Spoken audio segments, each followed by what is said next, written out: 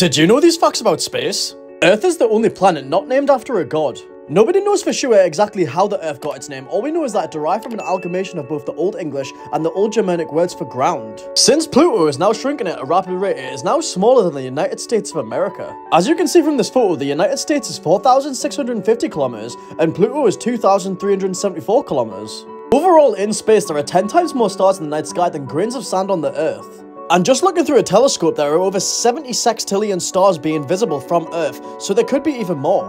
And as for the most expensive thing in the world, the ISS space station is worth over $150 billion.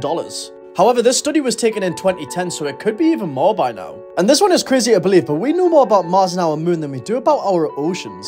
I'm not gonna lie, that is why you'll never see me near the ocean ever. So now there is only one thing I need to ask you.